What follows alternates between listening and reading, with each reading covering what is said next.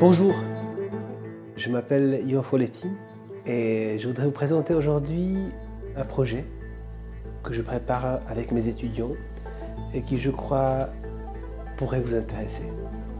Il s'agit en fait de travailler pendant un semestre, professeurs et étudiants, ensemble autour de la notion de la France du XIIe siècle. Le fait est que nous allons nous concentrer plus précisément sur le phénomène des pèlerinages. Et ce qui rend ce projet, je crois, exceptionnel, c'est que nous allons marcher à pied sur le chemin de pèlerinages médiévaux.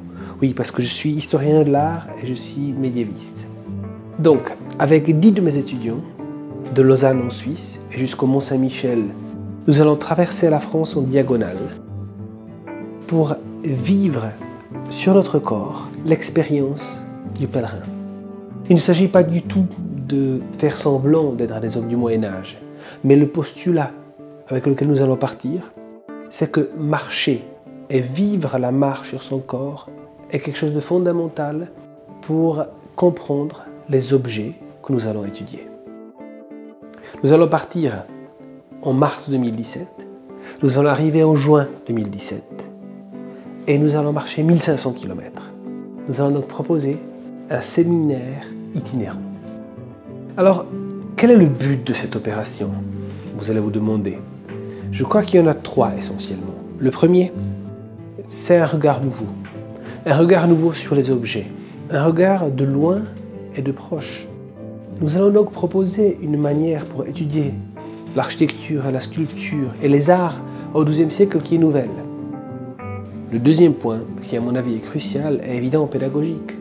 Imaginez-vous étudier en marchant, en vivant avec votre corps l'expérience. Donc il s'agit de quelque chose qui est visé à changer d'une certaine manière la manière d'appréhender l'université. L'université qui devient une expérience vivante. Puis le troisième point évidemment c'est vous. Car le troisième but de notre démarche et marche est bien celle de transmettre, de communiquer, de toucher. Nous allons donc créer un programme e-learning. Donc sur Internet, il y aura un site où il sera possible de suivre tous nos pas. On va essayer de créer nous-mêmes des courts-métrages relatant de notre relation personnelle avec les objets de notre étude. Et ceci sera à votre disposition.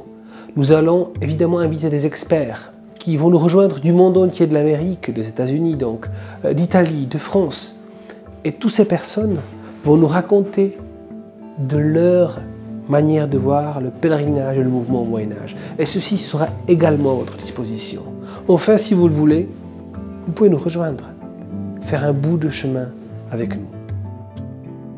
Projekt migrujících historiků umění pokládám za naprosto zásadní. Upozorňuje totiž, že všichni historikové umění migrují, cestují a na svých cestách poznávají umělecká díla, doslova si k ním nacházejí cestu. Zapojení studentů dějin umění považuji z pedagogického hlediska za naprosto klíčové, protože jim umožňuje a dává jim příležitost, jak aktivně a intenzivně poznávat předměty jejich studia. It trains the young generation of art historians to approach medieval art through a sensually immersive experience. The pilgrimage that these students are going to take will allow them one day in their scholarship to transcend the limits of text and this I see as the future of the past. I think this is a new start in our field to understand with all the senses and not only with uh, theories, to understand with the whole body uh, the medieval art which is so different and still so close. I think it will revolutionize the discipline and I wish the project all success possible. Ce qui est par contre clair, c'est que cette expérience est impossible sans vous. Nous avons certes des fonds pour partir, mais si nous voulons arriver au niveau de qualité que nous cherchons, si nous voulons pouvoir communiquer avec vous, on ne peut le faire sans votre aide. Je dirais que donc la réussite de ce projet qui a, je le reconnais, un brin de folie, est intégralement, ou presque intégralement, dans vos mains. Merci.